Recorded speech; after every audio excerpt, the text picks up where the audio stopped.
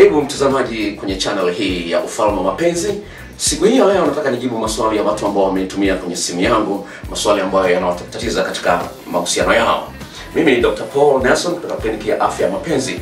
Kwa hiyo maswali ambayo yamekuja, of course, watu wanahangaika kama mahusiano, ningependa niajibu kwa kwa, kwa, kwa, kwa video hii ya leo niweze kujibu maswali hayo. Tafadhali sana, naomba unisikilize kwa makini.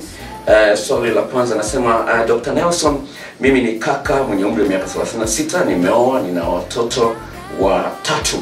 Shida yangu ni kwamba mke wangu nimpendaye amekuwa anagawa namba yake ya simu ovyo ovyo.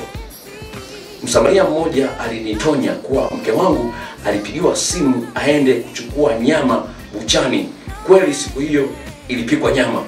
Nilipomuuliza alikubali kuwa alipewa na mwanaume na asingeweza kuacha ofa. Hivyo dokta, nifanyeje? Huyu mwanamke ni mzinzi au ni mawazo yangu tu?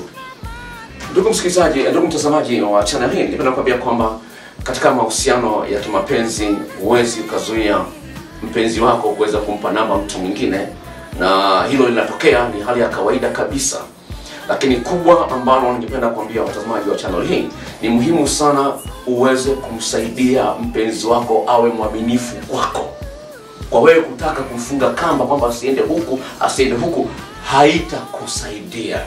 Nakumbuka kutongozwa na mama mmoja ambaye yeye mume wake anaishi mbali na anaishi na mama mkwe, mama mkwe ndo anamtawala, haendi mahali popote tu, akitoka mahali fulani anakwenda eneo fulani, basi inafahamika vitu kama hivyo. Sasa huyu dada akawa ananitongoza akasema, akanipa hali halisi na kila kitu na kila kitu. Sasa akaniambia, bwana, huwezi huwezi kumzuia mtu, akaongea maneno mengi sana. Sasa ni hali ya kawaida kabisa, mpenzi wako lazima atakuwa na ukaribu na, na atakuwa na namba za simu za watu wengine wa jinsia tofauti na ya kwake, na hali hiyo haizuiliki. Lakini cha msingi ambacho ningependa kuambia watazamaji kwenye mada ambayo inafuatia, kwa sababu tulizungumzia hilo kwa kiasi fulani, ni muhimu sana uweze kumsaidia mpenzi wako awe mwaminifu, na sio hilo peke yake ni muhimu sana kuweza kuwepo na ukaribu wewe na mpenzi wako, wewe na mke wako na mume wako, ili at least usiwe na wasiwasi na nyendo zake. Sasa hii kuna mtu amekwambia kwamba mke wako kapewa nyama na muuza bucha. Ni kweli, wauza bucha wengine wanatongoza wanawake wanaenda kununua nyama, lakini cha msingi ambacho nipenda kuzungumza kwa kesi ya kwako ni kwamba wewe kama wewe kwa wewe kumshambulia mpiga nani mwenye bucha au kumshambulia mke wako haitakusaidia. Angalia ni vitu gani vinasababisha mkeo awe na ukaribu na wanaume kiasi ambacho anapata misaada. Anapokuambia kwamba amepata ofa, hiyo ofa lazima atadaiwa, hakuna cha bure. Kula na kulipa ndio mtindo wa kisasa, wanasema Waswahili. Sasa ni muhimu sana kwako wanga umsaidie mke wako aelewe kwamba kujenga ukaribu na wanaume anajiingiza kwenye eneo la hatari sana. Hii ni kwa watu wote, kwa wachumba au nini. Mpenzi wako anapokuwa na ukaribu mkubwa na mtu wa jinsia tofauti na ya kwake, ni dalili moja ya usaliti. Kwa hiyo naomba umchukulie kwamba kama hajaanza kukusaliti, basi anaelekea kukusaliti. Kwa ni jinsi gani wewe utaweza kumzuia mpenzi wako asikusaliti? Hii ni kazi ambayo nakupa mtazamaji kuendelea kufuatilia channel hii.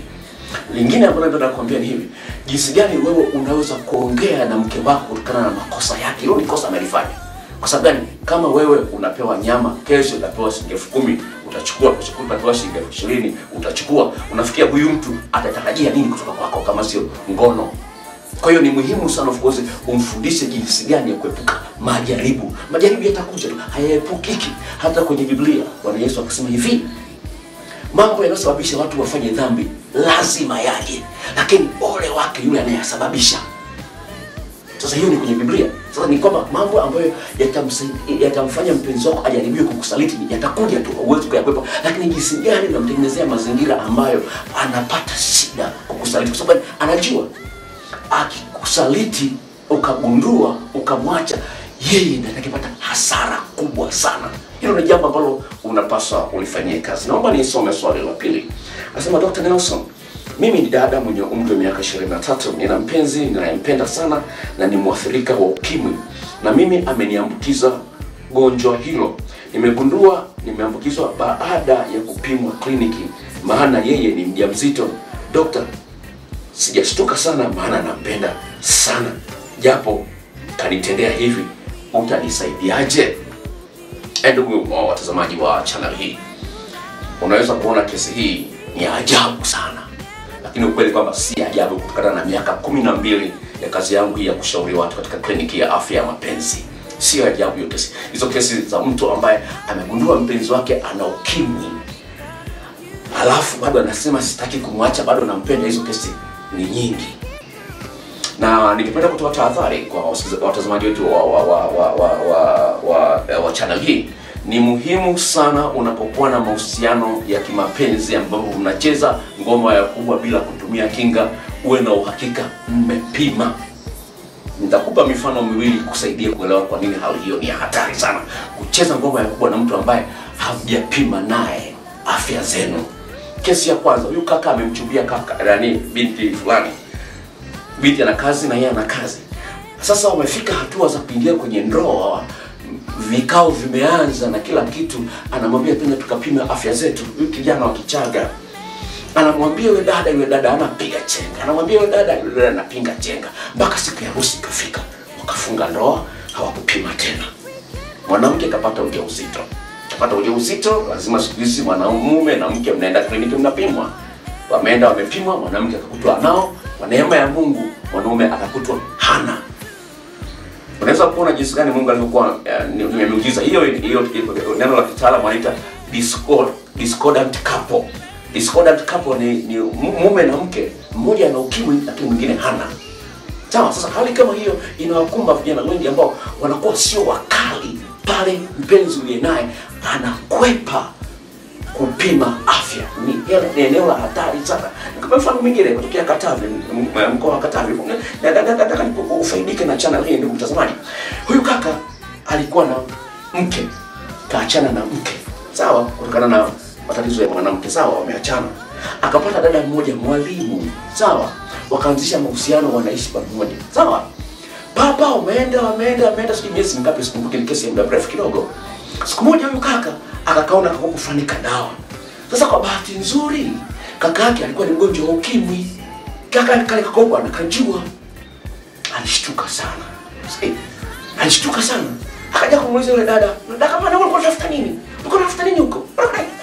Basi kaka akajua kwamba nimeshaambukizwa ukimwi. Wakaenda kupima, ayependa kupima, akutua hana, akapima mara ya pili hana. Hiyo hali akamshukuru Mungu, ameachana huyo. Sasa story nyingine ambayo inachekesha sasa, yani kuchekesha. story nyingine ya ugonjwa wa ukimwi ambayo inachekesha ni baba ambaye ana mke, mke amepata ujauzito, ameenda kliniki na mke wake, mke wake akakutwa anao wakati yeye alikuwa amesafiri. Sasa sorry, yeye alikuwa hakwenda na mke wake. Mke wake alienda kupimwa yeye peke yake. Mke wake akakutwa anao. Sasa huyu mwanaume akajua na yeye anao. Akaishi maisha ya wasiwasi kwa muda mrefu, lakini sasa kwa neema ya Mungu akachepuka. Alipochepuka akampa ujauzito binti mwingine. Alipompa ujauzito yule binti mwingine, ikapasa waende wote kwenda kupimwa. Walipoenda kwenda kupimwa, yeye akakutwa hana. Akajua ah, kumbe nifikia mke wangu ameniambukiza, kumbe sijaambukizwa. Akamshukuru akapima mara ya pili, ya tatu akakuta hana. Kwa hiyo kuna neema ya Mungu inaingia katika maeneo kama hayo. Sasa umesema unampenda, kwamba unapima unampenda, kubwa ambalo unapaswa kulifanya katika akili yako ni kwamba lazima ukubali kwamba niko katika eneo la hatari, ninaweza nikaupata huu ugonjwa. Huwa unatumia kinga au utumii kinga, kwa uhusiano wa muda mrefu inaweza ikatokea ajali hapa katikati, sawa? Hii inaitwa ajali, maanake hamkupanga kutumia kinga, inaweza kutokea ajali, aidha kondomu ime- ime- imepasuka au nani, ulikuwa unachezea viungo vyake vya uzazi kwa vidole, kumbe ulikuwa umejikata, ulikuwa huna habari, vitu kama hivyo, ukakuta wadudu wameingia. Kwa hiyo hayo ni maeneo ambayo yanapaswa kuangalia. Kwa hiyo lazima ufahamu kwamba uko katika eneo la hatari. Kwa hiyo ni muhimu sana of course eh, kwa maoni yangu mimi sasa yani serikali hata kanisa linaruhusu ukishapata na ugonjwa huo kutaka talaka una, inawezekana ukaoa mtu mwingine, lakini kama unampenda una, unashauriwa kwamba utumie kinga, lakini tambua kwamba hata unapotumia kinga kwa uhusiano muda mrefu, uwezekano wa kupata ajali kwa vile vile unakuwepo una kama ninavyozungumza ni neno ajali, inaweza ikatokea au isitokee. Kwa hiyo ni juu yako kulifanyia kazi hilo. Niingie kwenye swala lingine eh, ndugu mtazamaji um, mtazamaji wetu, sema dokta, mimi ni mwanaume, nipo Arusha, mpenzi wangu anapenda kula na ni mvivu wa mazoezi, na mimi sipendi mwanamke mwenye tumbo kubwa, na sasa sina hamu naye hata avue nguo zake ya mbele zangu, sisikii msisimko wowote. Dokta, nifanyeje? Kwani hii inaniumiza, kwa maana nilikuwa nampenda sana. Uh, watazamaji of course tutakuwa nalifahamu kwamba kuna watu wengi ambao wanachukia of course unene. Hata mimi nachukia unene japokuwa nimeanza kupata kitambi kidogo na kuchukia unene, lakini nimepunguza kula kidogo na nafanya mazoezi kidogo, inanisaidia kidogo. Ningeweza kuwa na kitambi kikubwa kuliko nilicho nacho sasa hivi, lakini ningependa kuambia kwamba unene ni tatizo katika jamii yetu ni kwamba utapata magonjwa ya kisukari, utapata magonjwa ya presha, utashindwa kucheza ngoma ya kubwa vizuri, unaweza kupata matatizo ya nguvu za kiume vile vile kutokana na unene. Sawa, kwa ni eneo ambalo linapaswa kupiga vita, lakini lingine ambalo lipo, ule muonekano wako ni wa muhimu sana katika kumjengea mpenzi wako hisia anapokuwa hata mbali na wewe. So tatizo la watu wanene kidogo, ambapo linafanya wajisahau kidogo, ni kwamba unapokuwa unavaa nguo, umevaa nguo, unajiona unapendeza kwa kweli. Ndio- shida yenyewe, ni kwamba unapokuwa umevaa nguo, umependeza kabisa, unapendeza na wanaume watakutamani, wanaume watakutongoza na kila kitu. Hali itatokea, mapaja yamejaa kwenye suruali, suruali imeshiba, inapendeza sawa. Lakini cha msingi kuzungumza ni kwamba pale unapovua nguo zako sasa, mko faragha na mwenzio, mwenzio ndo anaona ubaya wa unene wako. Na ndio kesi ya huyu kijana anasema kwamba sasa hivi hata hamnaye sina akivua nguo yani sipati msimko kwa hiyo kwa wale ambao wanaona kwamba wameshindwa kudhibiti unene iwapo unataka mpenzi wako aendelee kuwa na msisimko na wewe japokuwa ni mnene na ushindwa kudhibiti unene huo jitahidi sana kuwa fundi katika kumwandaa mumeo au mkeo. Nazungumza unene kwa pande zote mbili kwa wanawake hata kwa wanaume. Wako wanawake ambao wanachukia wanaume wanene. Sawa?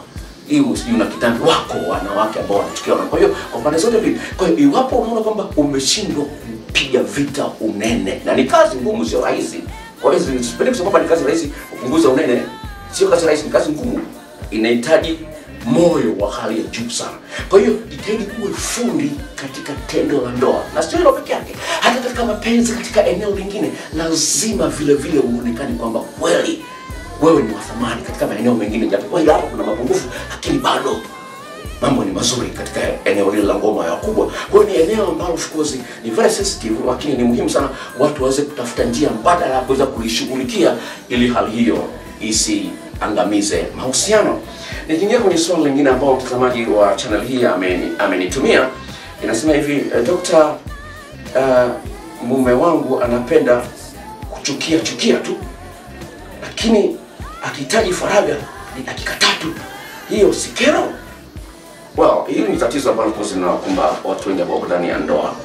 Ni kwamba unakuwa na hasira hasira na mkeo, unakuwa na hasira hasira na mumeo, jambo ambalo of course linaleta shida kwenye uhusiano. Na hasira mara nyingi inatokana na mambo mbalimbali, aidha stress za kawaida, umechoka na kazi, mara nyingi unakuwa unako busy, unakosa muda wa kupumzika, inasababisha stress na unakasirika kwa urahisi sana.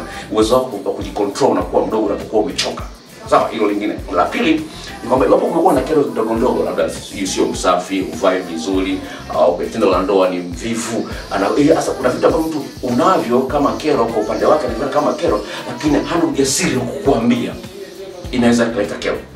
Sasa umeongea point nyingine pale kwamba mumeo anawahi kumaliza tena dakika tatu amemaliza. Ningependa kuambia kwamba kuna tiba maalum ya dawa ambayo inaitwa Prika, ni ya unga, ni unafanya kulamba, inaweza kumsaidia mwanaume. Hii dawa anaitumia kwa muda wiki tatu, ataanza kuona matokeo kati ya siku saba hadi kumi, lakini dawa nitumia muda wa wiki tatu. Ni dawa ambayo of course imewasaidia watu wengi na hasa wale ambao wamejichua kwa mchezo wa masturbation. Ni dawa ambayo of course gharama yake kwa watu wa Mwanza ni shilingi elfu ishirini na tano kama na kutumia uko mbali ni shilingi elfu thelathini lakini na wakala Dar es Salaam na wakala Arusha na wakala Njombe. Nilikuwa na mawakala katika mikoa mingi kidogo, lakini walikuwa wanachakachua dawa zangu nikasitisha mazoezi, Kwa hiyo mwingine anatumia kwa njema, basi dawa inakuja na maelekezo yake. Kwa hiyo hilo naweza kutatuliwa katika hilo, lakini katika eneo hilo la hasira hasira ni kwamba inapaswa unipigie simu kwa ushauri, niweze kuongea na wewe. Kuna maswali ya kukuuliza ili niweze kukusaidia jinsi gani ya kumsaidia mume wako apunguze hasira. Swali la mwisho, swali la mwisho, kwa sababu naona muda wa kuendelea kufanya shooting ya video hii kidogo umekuwa umeenda kidogo. Sema naitwa Frankie, umri wangu miaka 25. Nilikuwa na mpenzi alidai sijui mapenzi na pia bunduki yangu fupi.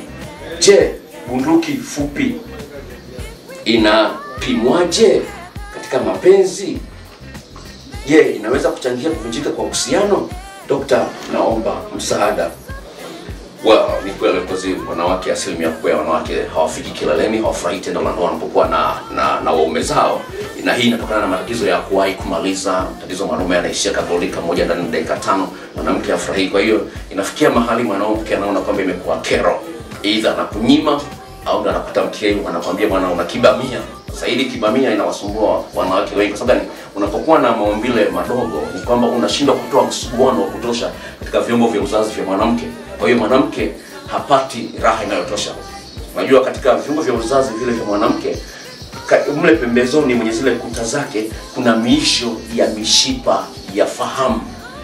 Sasa ile miisho ile ya mishipa ya fahamu ikipata msuguano anasikia raha raha inapanda nasikia anabadilika anavyohema maanake ni raha zinaingia kwa kiwango kikubwa. Sasa hivyo ni vitu ambavyo wanawake wanahitaji kuviona katika mahusiano yao. Maana sasa kama una kiumbe kidogo ambacho kwa jina maarufu kibamia kwa kuna dawa ambayo inaweza kukusaidia kubadilisha hiyo hali gharama yake ni shilingi elfu arobaini kwa watu wa mwanza na kwa watu wa mbali shilingi elfu arobaini na tano. Dawa ambayo imefanyiwa utafiti miaka kumi na nne eh, haina madhara lakini inachukua muda. Ongezeko unaweza kuliona kwenye wiki ya tatu. Haikuzuii kucheza ngoma ya kubwa na kama mwanamke lakini of course inahitaji uvumilivu. Unaitumia kila siku mara moja. Kwa hiyo ni dawa ambayo unaweza kuiagizia okay naomba nimalizie swali lingine naona kuna ile swali la huyu eh, huyu huyu mtu hapa. Anasema dokta eh, mimi naitwa uh, eh, Johnny toka mwaka 2015 mwezi wa sita niliachana na mke wangu kwa kuwa nilikamatwa ugoni. Na wazazi wake wa mke wangu walimsapoti aachane na mimi. Nikaoa na kuhama mkoa. Toka mwanza nikaja tabora nimeapa sitaki mchepuko tena. Na huu ni mwaka wa pili sijachepuka. Ila sasa mke wangu wa zamani ananisumbua anataka turudiane naomba msaada wako dokta. Well nakushukuru kwa message yako hii ambayo inaonyesha wazi kwamba inawezekana kwa mwanaume kuacha kuchepuka. Hiyo message sio ya kwangu imetoka kwa mtu ambaye amejifunza kutokana na maumivu aliyoyapata. Ukweli ni kwamba uh, asilimia kubwa ya wanaume wanachafuka, lakini kitu ambacho kinaweza kuzuilika iwapo utamwangalia mkeo kwa kina na ukamweka kwenye akili yako kiasi ambacho mke wako anakuwa kama nanga kwenye akili yako. Napozungumzia nanga nakupa picha ya meli bandarini. Meli inapokuwa bandarini inashikiliwa na nanga iko chini kule nanga nzito. Kwa hiyo meli haiwezi kuchukuliwa chukuliwa na mawimbi ya, maji sasa unapokuwa unamwangalia kwa kina mke wako na mambo yake mazuri aliyonayo na kila kitu kozi anakuwa kama nanga kwa hiyo unapata shida kidogo kwenda kuchepuka au kuwa na mwanamke mwingine. Sasa hilo nakupongeza kwa hilo. Na shukuru umekubali makosa kwamba kule ulizini ukafumaniwa na wazazi wako wamsapoti achani sasa mchana lakini cha msingi ni kwamba pamoja na kuchepuka ulikuwa na sifa nyingine katika maeneo mengine. Hili ndio ambayo napenda kuambia watazamaji wetu waliona kwa kina. Ni kwamba mapenzi yana maeneo mengi kwa hiyo ukikomalia tu kwenye eneo moja utapata shida sana kufurahia uhusiano ulionao. Kwa hiyo ukiona kwa eneo fulani lina udhaifu lifanyie kazi kuliondoa. Sasa unapokaa kimya kama vile hakuna tatizo hiyo ni shida. Na hii of course inachangia kwa watu ambao wanashindwa kuwahoji wapenzi wao wanapoona mambo yamebadilika hayako kama zamani. Kwa hiyo ni msingi sana uweze kujenga mazingira kama hayo. Lakini kikubwa ambacho nakiona kwenye meseji yako ni kwamba mke wa zamani ameanza kusumbua. Cha msingi mwambie samahani nimepata mwanamke mwingine sihitaji tena kuwa na mahusiano. Na wewe najua unanipenda najua nimekuumiza najua kosa ni langu lakini siwezi kumwacha huyo hana hatia. Kwa hiyo usipokee simu yake usijibu meseji zake. Sawa Usi- usibadilishe namba hamna haja ya kubadilisha namba. Kama unajijua unajiamini hamna sababu ya kubadilisha namba. Kwa hiyo usipokee simu zake usijibu meseji zake of course kama me, me, uh, uh, kama nimeona kama kuna watoto kuna watoto sawa. Cha msingi ni kwamba unapokuwa unaongea naye kwa ajili ya watoto ongea naye. Akileta topic ya kwamba mrudiane kata simu. Kama unazungumzia masuala ya watoto matumizi ya watoto whatever it is sawa utaongea. Lakini pale ambapo unaona kwamba analeta hoja anataka mrudiane mkatie simu. Kwa hiyo kadri unavyorudia katika hali kama hiyo baadaye atachoka kuleta hiyo mada katika maongezi yake na wewe katika simu ndugu msikilizaji hii ni channel ya ufalme wa, wa, mapenzi endelea kuangalia channel hii na kualika uweze kujisajili kwenye channel hii ili kila video mpya nitakapoitoa uweze kupata habari kwa hiyo kuna kibox chekundu pale kimeandikwa subscribe eh, bonyeza pale au wanaita bofya pale, utaweza kuwa umeisha jisajili kwenye eh, channel hii, na video mpya nitakayoitoa wiki ijayo utaweza kuiangalia vile vile. Naomba nikutakie siku njema, Mungu akubariki. Unaweza kuwasiliana na mimi- kwa maswali kwa namba ambayo inapita pale kwenye kwenye kwenye screen. Namba hiyo ichukue isave kama King of Love au Dr. Nelson au Dr. Love, itakusaidia kumbuka namba hii ni ya nane. Mungu akubariki, nikutakie mapenzi matamu.